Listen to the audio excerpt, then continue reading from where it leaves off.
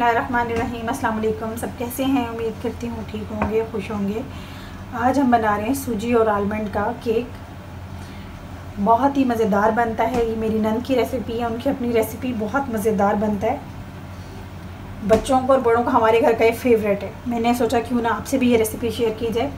तो इसके लिए सबसे पहले हम डाल रहे हैं एक, कोई सा आपने मैयर कर लेना एक ही कप मग या गिलास। जो भी बनाना है। मैंने ये मग लिए और इसी क्वांटिटी से सब चीज़ें डालेंगे।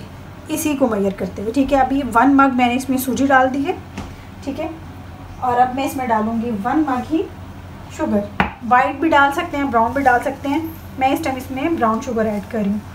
और जैसे कि मैंने पहले बता दिया था कि एक ही वायरिंग कोई सा भी हमने बर्तन ले लेना है यूज़ करना है। तो ये वन मग ब्राउन शुगर है, ठीक है? और यहाँ एक कप मैंने लिए है भर के बादाम, इसको मैं ग्राइंड कर लेती हूँ। अच्छे से पीस के मैं आपको दिखाती हूँ। अच्छा जी, ये एक मग वो जो था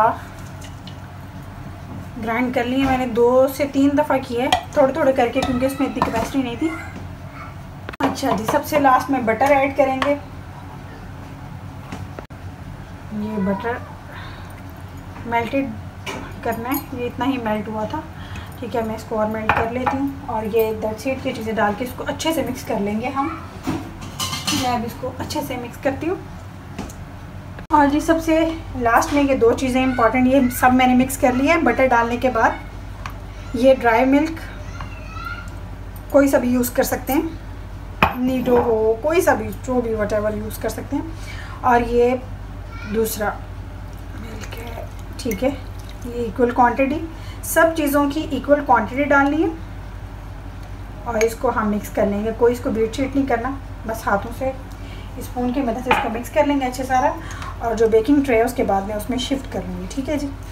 मैं इसको अच्छे से मिक्स कर लेने के बाद आपको इसकी फ़ाइनल लुक दिखाती हूँ, सिर्फ़ मिक्स करना।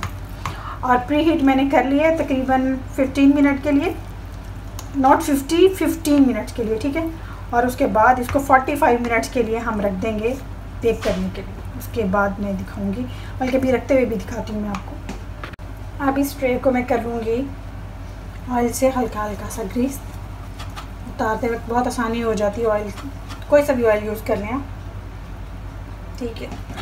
फिर उसके बाद इसमें इसका बैटर डाल देंगे।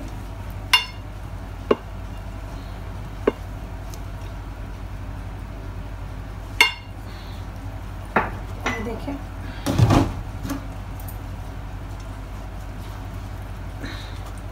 डन हो गया ठीक है? अब हम इसमें इसमें बैटर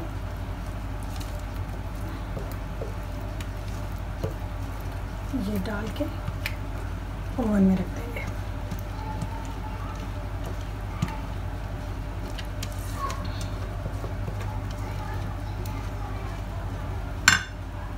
ये देखिए जी, ओवन है प्री हीट अब मैंने इसमें रख दिया। ये है केक का फाइनल लुक ये देखें जी, ये है इसकी फाइनल लुक मज़ेदार सी। देखिए कितना मज़ेदार, कितना सॉफ्ट है ये। ये ड्राई केक इंतहाई मज़ेदार है। मस्त ट्राई करें सर्दियों में ख़ास तौर पे चाय के साथ शाम के टाइम बहुत मज़ा आएगा, इंशाल्लाह। For watching. Take care.